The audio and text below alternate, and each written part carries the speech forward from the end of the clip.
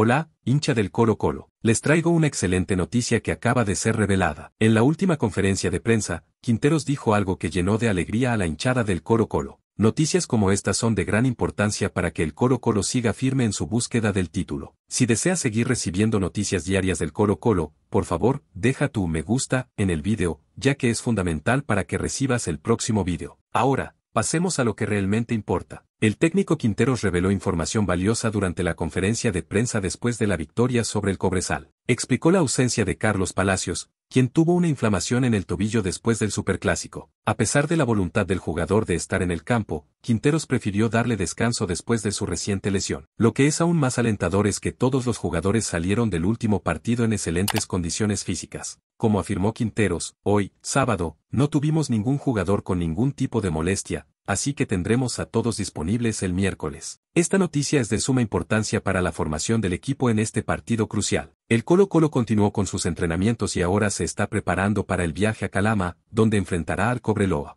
Ahora solo nos queda esperar la última sesión de entrenamiento antes del partido, con la esperanza de que no surjan lesiones de último momento. Óscar Opaso y Carlos Palacios están de vuelta después de sus lesiones, y Esteban Pavés estará disponible para la convocatoria después de cumplir su suspensión en el último juego. Mientras esperamos este emocionante enfrentamiento, también es importante mencionar que el contrato de Gustavo Quinteros con el club se extiende hasta finales de diciembre de este año. Después de la temporada del fútbol chileno, habrá análisis y negociaciones para posibles renovaciones. El partido entre el Colo Colo y el Cobreloa está programado para el miércoles 27 de septiembre a las 6 en el Estadio Zorros del Desierto de Calama. Es la primera semifinal de la Copa Chile, y estamos ansiosos por ver a nuestro equipo brillar. Estimado Hinchalvo, ¿qué opinas de esta noticia? Siempre es importante que comentes para que el Colo Colo sepa lo que sus seguidores piensan. Y, por supuesto, si llegaste hasta aquí, deja un me gusta para motivarme a traer más noticias del Colo Colo hoy. Gracias.